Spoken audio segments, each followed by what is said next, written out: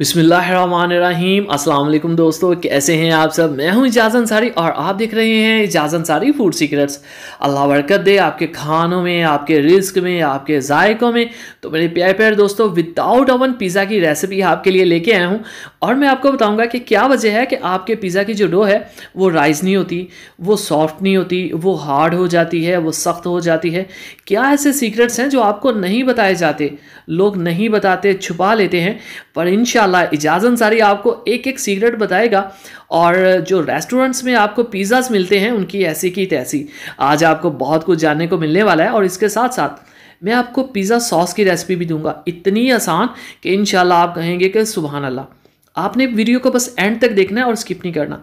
सबसे पहली बात, ईस्ट इसको कहते हैं और ये आपको किसी भी स्टोर से इजीली मिल जाएगी। वन फोर्थ टेबल स्पून इसको डालेंगे पानी में और हाफ़ चम्मच चीनी का होगा। उसको मिक्स करके दस मिनट के लिए रख देंगे। अब हमने लिया है एक प्याली मैदा, आम मैदा जिसको ऑल पर्पज़ फ्लोर भी कहते हैं। इसमें एक चुटकी जाएगा नमक और ये है हमारे पास दही। एक चम्मच, इससे जो डो है वो अंदर से काफ़ी क्रीमी और सॉफ्ट हो जाती है। ये हमारे पास कुकिंग ऑयल है, एक चम्मच। और ये है हमारे पास वो ईस्ट जिसको हमने 10 मिनट पहले भिगो के रखा था। इसमें चीनी भी है हाफ़ चम्मच तो इसको मिक्स करेंगे और इस डो को हम तैयार करेंगे। तो बहुत इजीली ये डो तैयार हो जाएगी। पानी की ज़रूरत पड़े तो थोड़ा सेट करें। ना आपने बहुत हार्ड बनानी है, ना बहुत सॉफ्ट तो वो सीक्रेट क्या है? जिस वजह से आपकी डो जो है वो राइस नहीं होती, फूलती नहीं, वो ये है कि आपने इसको एयर टाइट करना है, ठीक है? कुकिंग ऑयल लगा देना, ऊपर भी और नीचे भी।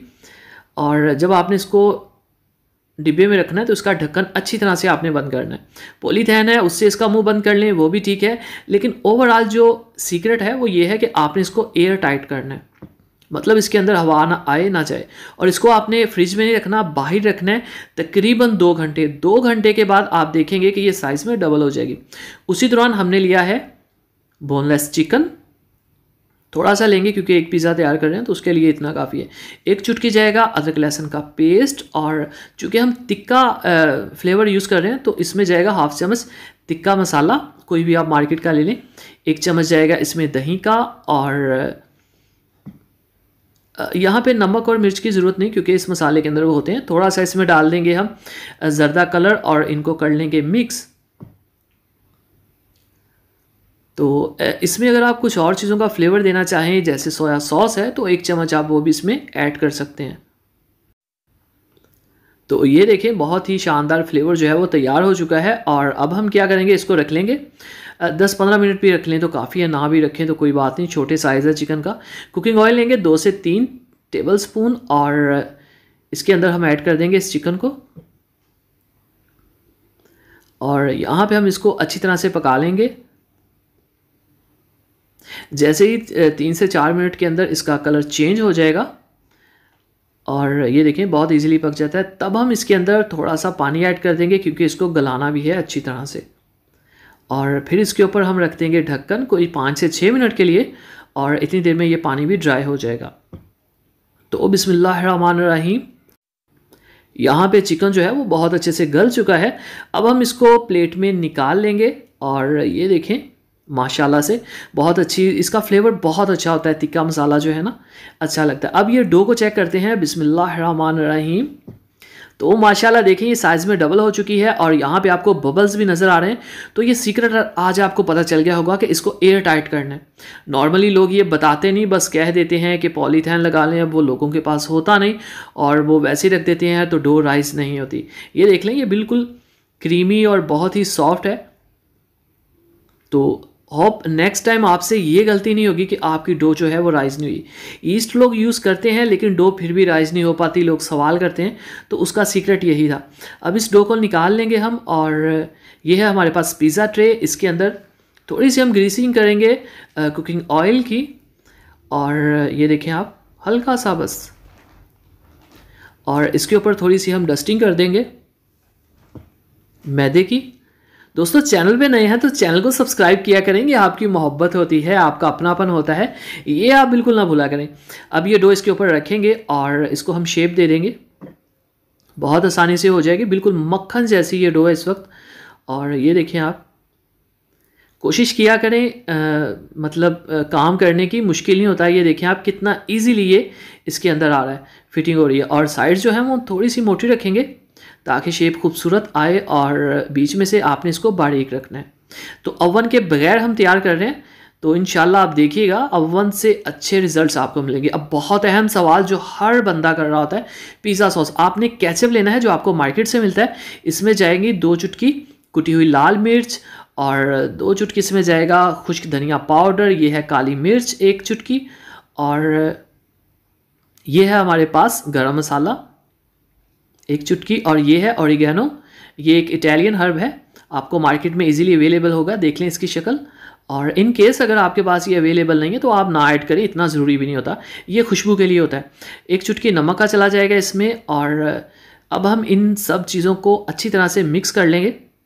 दोस्तों, ये कैचअप के अंदर मैंने चीज़ों को ऐड किया है. ये टोमेटो पेस्ट नहीं है, ये कैचअप है, ठीक है? इसलिए हमें इसको पकाने की ज़रूरत नहीं है। अगर हम टोमेटो पेस्ट के अंदर ये चीज़ें ऐड करते तो हमको पकाना पड़ना था। लेकिन इतनी आसान चीज़ें, ज़रूरत क्या पकाने की, आप जस्ट कैचअप लें और उसके अंदर इन चीज़ों को ऐड कर लें। अब हम क्या करेंगे? स्पोक के साथ यहाँ पर हम इस तरह से आप डिज़ाइनिंग सी कर दें। इसका फ़ायदा ये होता है कि बीच में से जो डो होती है वो फूलती नहीं और जो हमारा ये सारा लेयरिंग है, ये भी इसके साथ अच्छे से लग जाती है। पिज़्ज़ा सॉस इसके ऊपर लगाएँगे। और ये देखें, लग गया बहुत अच्छे से। किनारों को बचा के रखिए किनारों पर नहीं लगाएँगे। ये है हमारे पास चैडर चीज़ और ये है मोजरेला चीज़। चैडर चीज़ जो होती है, ये क्रीमी होती है, इसका टेस्ट ज़्यादा होता है और जो मोजरेला चीज़ होती है वो थोड़ी सी लेसदार होती है मतलब दिखने में खूबसूरत लगती है। ये हमारा चिकन जो हमने अभी तैयार किया था तिक्के के फ्लेवर के साथ इसको इसके ऊपर लगा देंगे। और फिर ये दोनों चीज़ों की लेयरिंग आप ऊपर नीचे करते रहें। मिक्स लगाई जाती हैं, इससे जो फ्लेवर वो भी सही रहता है। टमाटर आपने बड़ी कटिंग के लेने हैं, क्योंकि हम अवन के बगैर बना रहे हैं। और शिमला मिर्च भी आप लगा दें, साथ आप प्याज लगा दें। जो जो वेजिटेबल्स आप पसंद है, आप वो लगा सकते हैं। अगर आपको इनमें से कोई चीज़ नहीं पसंद तो आप स्किप कर दें, कोई प्रॉब्लम नहीं है। तो दोबारा ऊपर चीज़ की एक लेयर लगा देंगे। पिज़्ज़ा हो और चीज़ कम हो, ये बहुत बड़ी ज़्यादा है। पिज़्ज़े का मतलब ही चीज़ होती है, वैसे एक पिज़्ज़ा बगैर चीज़ के भी होता है, इंशाल्लाह मैं आपको उसकी भी रेसिपी दूँगा। तो ये चीज़ जो है, ये आपको इजीली किसी भी बेकरी से या किसी भी जनरल स्टोर से इजीली मिल जाएँगी। और ये है हमारे पास ब्लैक ऑलिव्स ग्रीन ऑलिव्स भी आते हैं ब्लैक भी आते हैं। तो मुझे ब्लैक का फ्लेवर थोड़ा सा पसंद है, इसलिए मैं ब्लैक ऑलिव्स यूज़ कर रहा हूँ। तो ये ले जी, माशाल्लाह पिज़्ज़ा तैयार है। अब आपने क्या करना है? बड़े से किसी पतीले को या प्रेशर कुकर को ही आपने प्री हीट करना मतलब उसके नीचे चूल्हा जला के रखना है और जब वो गर्म हो जाए तो एक कटोरी उसके ऊपर मेटल की उल्टी रख देनी है और उसके ऊपर इस प्लेट को रख देना है, ठीक है? मीडियम टू लो आँच होनी चाहिए आपकी और ऊपर रख देना आपने ढक्कन और इसको आपने लो आँच के ऊपर पकने देना है। Medium to low. और ये पाँच मिनट बाद चेक करते हैं रही थोड़ी सी जो हमारी डो है, वो यहाँ पे जो बेस है, वो थोड़ी सी राइस हुई है। और फिर चेक करते हैं पाँच मिनट बाद। तो ये देखें माशाल्लाह से चीज़ जो है, वो मेल्ट हो रही है। तो अब यहाँ पे हो चुके हैं बीस मिनट। तो माशाल्लाह से देखें जी, साइड से जो आपको खूबसूरत सा राइस नज़र आ रहा है और चीज़ अच्छे से मेल्ट हो चुकी है। बहुत ध्यान से इसको आप निकाल लीजिएगा। मेरे पास सॉरी ग्लव्स नहीं थे, इसलिए मैं ऐसे निकाल रहा हूँ और इसके ऊपर अब हम लगा देंगे खुशबू के लिए थोड़ा सा मक्खन, क्योंकि रेस्टोरेंट्स में हम जब पिज़्ज़ा सर्व किया जाता है तो उसके ऊपर एक बहुत ही खूबसूरत सी खुशबू होती है। वो होती है बटर की। कोई भी मक्खन आप लगा सकते हैं। और अब मैं आपको इसकी कटिंग करके दिखाऊँगा और देखेंगे इसकी क्या लुक है। तो बिस्मिल्लाहिर्रहमानिर्रहीम। माशाल्लाह माशाल्लाह खुशबुएँ तो आप पूछिए ना, मेरे अल्लाह की शान, उसकी रहमतें, नेमतें और बरकतें कि ऐसी खुशबू आ रही है कि क्या ही बात है। और ये हमारे पास है पिज़्ज़ा कटर, अगर आपके पास है तो ठीक है, वरना ये छुरी से भी काटा जा सकता है। मैं आपको डो दिखाना चाहता हूँ, साइड से इसका जो बेस है वो दिखाना चाहता हूँ, और इन आप देखिएगा ये किस तरह की बनी है। तो पहले इसको उठाते हैं तो बिसमीम देखिए जी, बहुत ही क्रीमी और ये जो तारे बन रही हैं, ये मोजरेला चीज़ की वजह से हैं और ये जो क्रीमी पन है इसके अंदर, ये है चैटर चीज़ की वजह से। अब मैं आपको दिखाता हूँ इसकी बेस कैसी है। ये देखें, बिल्कुल सॉफ्ट बिल्कुल फोमी और बहुत ही ज़्यादा ये देखें आप, कितना इजीली और नीचे से आप देखें कितना प्यारा कलर है। मैं आपको अच्छी तरह से दोनों साइड से दिखा देता हूँ। तो वो क्या टिप था कि आपने इसको एयर टाइट करना है? बस इतनी सी बात जो लोग ज़्यादा ओपनली नहीं बता पाते। और चीज़ का फ्लेवर माशाल्लाह से आप एक दफ़ा इसको बना के देखें। आपको लगेगा कि वही चीज़ है जो आपने बनाई, जो बाहर मिलता है, वो सब नकली है। तो उम्मीद है दोस्तों, आपको कंप्लीट समझ आ गया होगा कौन कौन सी चीज़ें मैंने आपको बतानी थी। अब इस बात पर चैनल को सब्सक्राइब करना आपका ज़रूर बनता है। अगर आपको लगता है कि मैंने आपको कुछ सिखाया है तो चैनल को ज़रूर सब्सक्राइब करिएगा। और इसके अलावा कोई सवाल हो कमेंट बॉक्स में ज़रूर पूछिएगा। और वीडियो को लाइक तो आपने कर दिया होगा चैनल को भी सब्सक्राइब कर दिया होगा तो इजाज़त सारी को इजाज़त दीजिए। अगली वीडियो तक, अल्लाह हाफिज़।